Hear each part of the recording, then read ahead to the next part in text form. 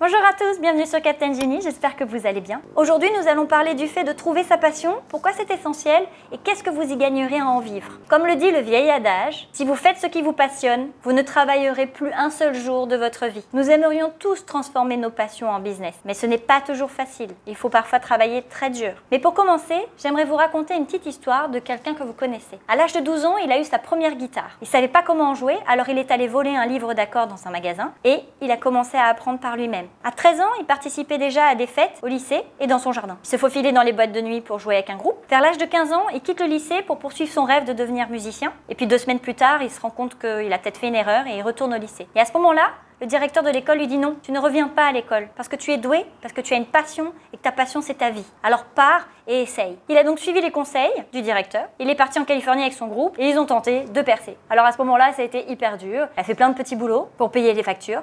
Avec son groupe, ils ont fait quelques petits concerts d'ouverture par-ci par-là, mais rien n'a abouti à un contrat d'enregistrement. À 21 ans, un de ses amis qui était acteur lui a dit mais pourquoi tu serais pas toi aussi un acteur? Et cet ami lui a proposé de rencontrer son agent. Et lors du rendez-vous, le directeur de casting, qui était en train de diriger un film d'horreur indépendant à petit budget, eh bien après l'audition, il lui a filé le rôle. Le film, en français, il s'appelle Les Griffes de la nuit. Et c'est un des films d'horreur les plus emblématiques du cinéma. Eh bien en fait, le musicien passionné dont je viens de parler, c'est Johnny Depp, un des plus grands acteurs du cinéma américain. Alors vous allez sûrement me demander pourquoi je partage cette histoire avec vous, sachant qu'il s'agit sûrement d'une exception assez rare, en plus que c'est quand même du domaine du people, donc ça fait toujours un peu rêver, et c'est très loin de notre vie. Cependant, derrière cette histoire, il y a simplement une leçon à en tirer. Cela n'a rien à voir avec le jeu d'acteur, les films, la musique. Vous pouvez très bien facilement remplacer le mot jouer par surfer, le mot école par travail, le mot auditionner par cours de danse, et ce sera toujours la même chose. Nos passions, en fait, nous donnent un but. Elles nous font nous sentir vivants. Et pourtant, beaucoup d'entre nous ont du mal à trouver une vraie passion, ce qui les concerne eux particulièrement. Ils pensent souvent que les gens les plus chanceux qui vivent de leur passion,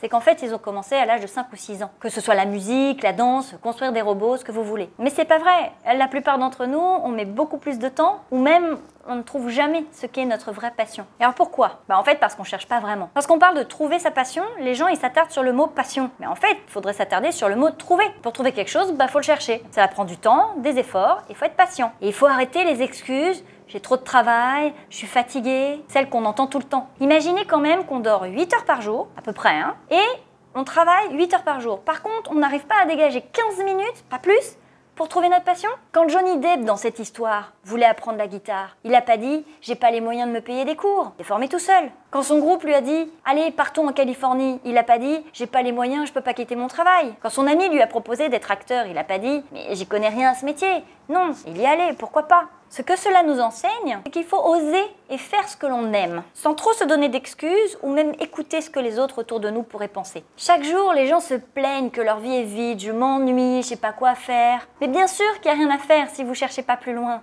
Trouver sa passion, ça nécessite du travail. Ça va pas arriver comme ça dans votre boîte aux lettres un matin. Faut mettre ses chaussures, ouvrir la porte et y aller. Parce qu'en réalité, vous ne saurez jamais si vous aimez voyager, bah, sauf si vous voyagez. Vous ne saurez jamais si vous aimez danser, sauf si vous dansez. Vous ne savez jamais si vous êtes fait pour la navigation, sauf si vous partez naviguer. Et vous ne saurez jamais si vous aimez l'escalade, si vous n'essayez pas. Imaginez, un peu comique, mais imaginez. Vous avez un ami là qui vous dit, ce soir, on va prendre un cours de ping-pong. A priori, 99% d'entre vous vont dire non, je suis trop fatigué, je travaille demain, j'ai pas envie. Mais après tout, Peut-être que le ping-pong peut devenir votre passion. Peut-être que simplement vous allez rencontrer des gens nouveaux qui vont vous faire découvrir d'autres choses. Mais malheureusement, ça ne vous arrivera pas à 99% des cas parce que vous étiez trop fatigué. Ou en tout cas, vous avez donné cette excuse. Tout le monde veut vivre quelque chose d'excitant. Alors pourquoi ne pas agir pour changer la donne? Vous croyez que quelqu'un va toquer à votre porte pour vous montrer le chemin? Combien d'heures par jour vous faites autre chose que votre routine? Deux heures Une heure demi-heure Dix minutes Un minute Deux minutes? Je suis sûre moins que ça. Imaginez, vous consacrez une semaine à tester